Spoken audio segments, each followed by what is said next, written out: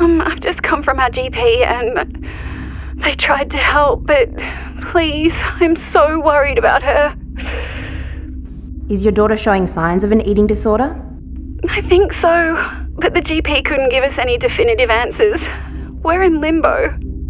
This isn't uncommon. Understanding eating disorders requires specialist training, which GPs don't usually get.